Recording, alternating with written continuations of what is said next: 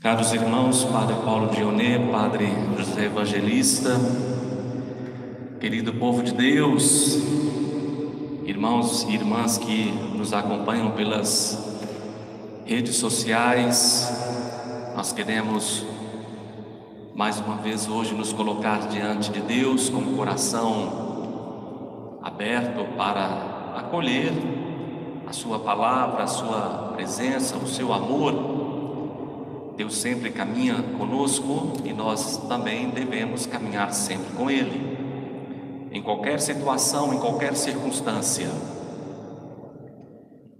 É, eu gostaria de dizer inicialmente sobre a importância de, de participarmos juntos nesse momento de dificuldade, ainda que seja assim, pelas redes sociais. Nós estamos vivendo um momento que nós não imaginávamos viver. Tenho certeza que vocês, como eu, não imaginavam, por exemplo, participar de uma Semana Santa da forma como aconteceu esse ano.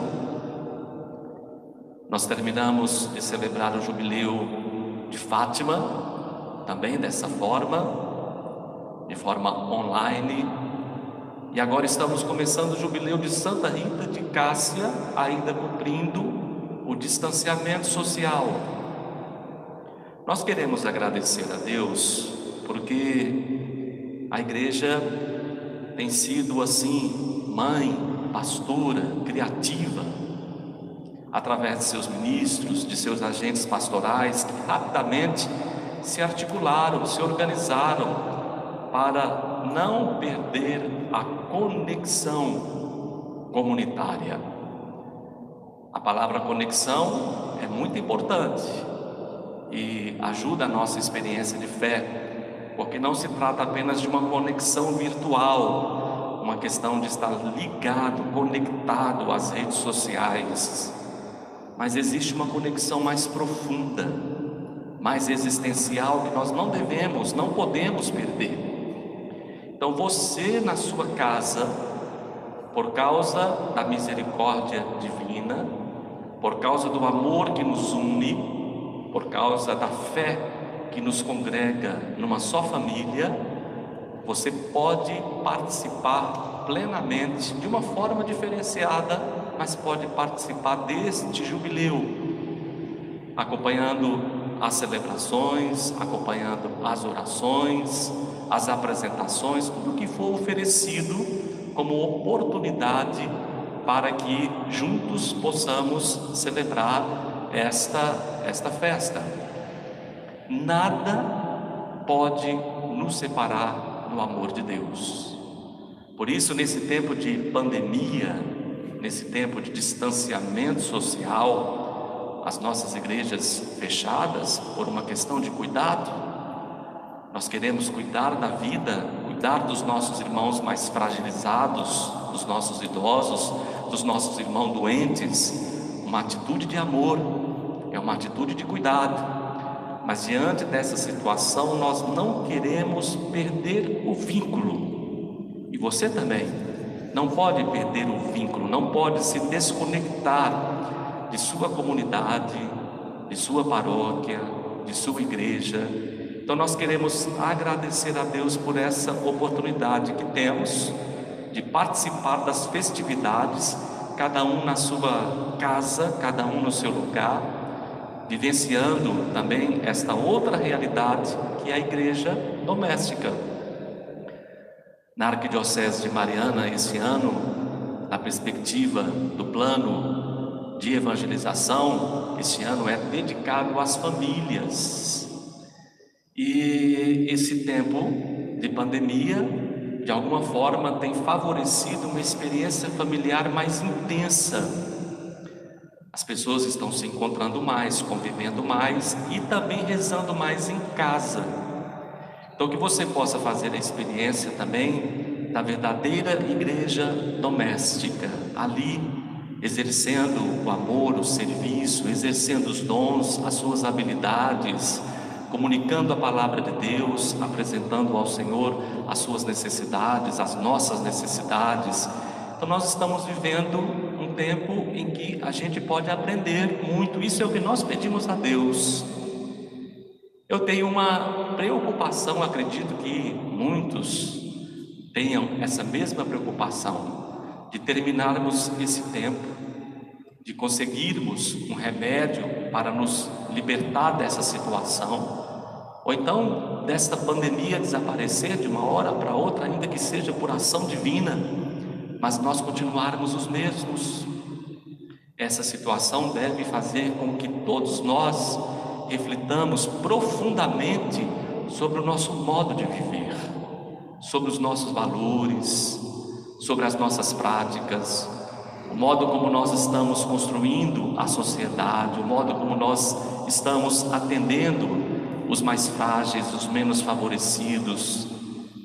O consumismo exacerbado, nós destruímos, nós ameaçamos a vida por causa da ganância, por causa do orgulho, tudo isso deve ser colocado no seu devido lugar na nossa reflexão, para que, vencendo esta pandemia, nós também possamos vencer muitos outros males que afetam a vida do nosso povo.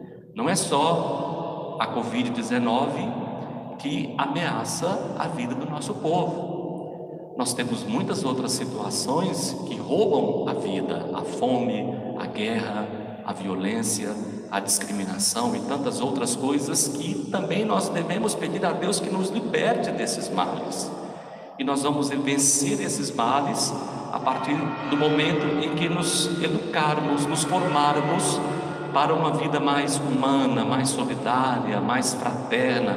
É algo até mais complexo, é algo até mais complicado e mais demorado, mas nós temos que ver temos que enxergar, temos que perceber a realidade que nos envolve para que possamos abraçar verdadeiramente a proposta de Jesus, que é uma proposta de vida e de vida plena para todos, não apenas para alguns, alguns privilegiados, alguns que mereçam, não, é vida plena para todos. Deus quer que todos os seus filhos e filhas experimentem a vida de modo total: vida espiritual, vida emocional, vida familiar, vida material, que nós possamos realmente descobrir esse grande anúncio de Jesus, cada vez mais abraçar a sua proposta de vida, mas vida para todos.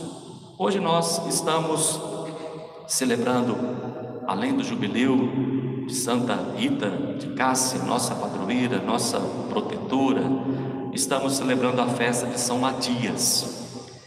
E a proposta dentro do jubileu é pensarmos um pouco também e rezar pelas, pelos nossos irmãos leigos e leigas, cristãos leigos e leigas. É muito interessante como nós vimos na primeira leitura tirada dos Atos dos Apóstolos, como Matias passou a fazer parte do grupo apostólico para completar a vaga deixada por Judas. Se a gente faz uma leitura muito rápida, parece ter sido algo assim muito humano, muito perigoso. Lançaram a sorte sobre dois nomes e quem foi escolhido? Matias. A sorte caiu nele, mas nós temos que acreditar na ação divina que muitas vezes chega até nós de forma mediada. Olha que interessante, os outros onze apóstolos ouviram o chamado de Jesus pelo próprio Jesus, ouviram a voz de Jesus, chamando-os pelo nome, fizeram uma experiência única mas logo em seguida, Matias sentiu-se chamado por Deus com a mesma força, com a mesma convicção, assumiu a sua condição de apóstolo por causa da ação da comunidade, da ação da igreja que, em oração, mesmo usando esse artifício, fez então a escolha de Matias. Nós pensamos um pouco da nossa vocação. Às vezes nós pensamos que um dia Deus vai nos falar assim, de uma forma sensível, nós vamos escutar a voz de Deus nos chamando, nos convocando para uma missão, mas nós nos esquecemos de que a ação de Deus, o chamado de Deus, muitas vezes chega até nós de forma mediada. Nós percebemos isso na nossa vida comunitária, na nossa vida familiar, nas nossas atividades. Deus, na verdade, vai construindo a nossa vida. Nós não estamos perdidos, soltos nesse mundo. A pessoa que se abre à ação do Espírito, que começa a ler a palavra de Deus, começa a participar da comunidade, a pessoa que vive o seu compromisso eclesial consegue enxergar o fio condutor de sua vida, como Deus foi e como Deus vai conduzindo toda a sua história, os sinais da presença de Deus. E a pessoa então com coragem, com segurança, com confiança vai tomando as suas decisões em vista de sua vocação. Por isso nós queremos hoje agradecer a Deus, bendizer a Deus pela ação evangelizadora, pelo protagonismo dos nossos leigos e leigas. Nós somos igreja, corpo místico de Cristo. Um corpo tem muitos membros e a igreja de Jesus é assim também. Então nós temos a ação dos padres, dos ministros ordenados, temos a ação das religiosas, mas nós reconhecemos o papel essencial, indispensável dos leigos e leigas. Na igreja doméstica, realidade a qual somos chamados a viver de um modo intenso, neste momento, nós não temos os padres, nós não temos religiosas, são leigos e leigas que conduzem a vida de fé em suas próprias famílias. A palavra de Deus está sendo anunciada, proclamada, rezada, por leigos e leigas em suas famílias, em seus lares. Na igreja doméstica, nós não temos o exercício do ministério ordenado diretamente, mas nós temos o testemunho, a fidelidade dos leigos e leigas, que também acontece na comunidade eclesial, na instituição, né, na comunidade da qual você faz parte mas é preciso intensificar cada vez mais a consciência de sua vocação, do seu chamado, do seu papel. Nós não queremos perder a unidade, perder a comunhão, perder o vínculo. Não pode acontecer isso nesse tempo de pandemia. Pelo contrário, queremos entender cada vez mais que somos os amigos e amigas de Jesus que nós estamos juntos porque confiamos nele, porque estamos unidos nele. Ou seja, se eu sou de Jesus, se você é de Jesus, se eu escuto o chamado de Deus, se você escuta o chamado de Deus, então tem algo que nos une e nada pode nos separar do amor, do chamado, da vocação que Deus indicou para nós.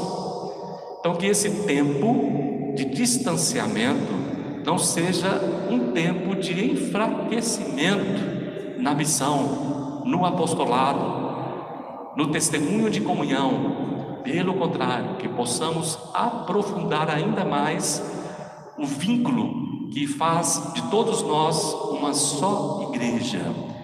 Nós estamos afastados fisicamente, mas estamos cada vez mais unidos na prece, na confiança em Deus. Hoje nós estamos vivendo um tempo, é, um dia tão especial, nós fomos convidados pelo Papa a nos unirmos em prece, pedindo pela humanidade, não apenas nós cristãos, mas também fiéis de outras religiões. Olha o convite que o Papa nos faz. Ou seja, nós podemos, nesse tempo de distanciamento, experimentar cada vez mais a força que faz de nós um só povo. Somos irmãos e irmãs, filhos e filhas de Deus, porque nós acreditamos na misericórdia do Pai, porque nós confiamos é no amor infinito de Jesus e porque também acreditamos na intercessão de todos os santos, especialmente Santa Rita de Cássia. Nós queremos realmente invocar a proteção, a oração, a intercessão de Santa Rita para que ela nos livre. Peça a Deus para nos libertar deste mal. Ela é entendida, reconhecida por nós como a santa do impossível.